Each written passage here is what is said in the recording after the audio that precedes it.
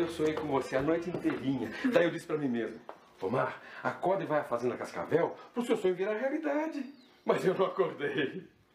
Não? Não, eu sou meio preguiçoso. Daí eu disse, Omar, Deus ajuda quem cedo madruga. Eu respondi, eu quero continuar sonhando. Eu tava quase te beijando naquela hora. Daí você pensou, vai que a Brenda vai te dar um beijo. Foi isso mesmo. Sabe o que eu respondi? O quê? Mas que amor mais rebelde é esse? Não gosto que me falte com respeito. E na frente dos outros, finge que a gente não se conhece. Por que, Brenda? A gente se conhece desde pequenininho. Eu sou pobre. Ué, você vai ficar parada assim, é? Não quero mais dançar.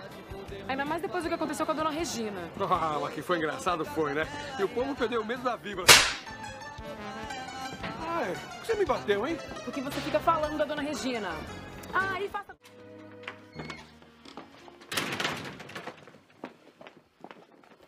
Some daqui. Mas eu não terminei de arrumar sua cama. Eu já disse pra você sumir daqui. Ih, dona Laura, como a senhora tá nervosa. A senhora tá assim porque sua prima passou a perna na senhora? Isso pra você aprender a não falar bobagem, sua empregadinha atrevida. Sai daqui.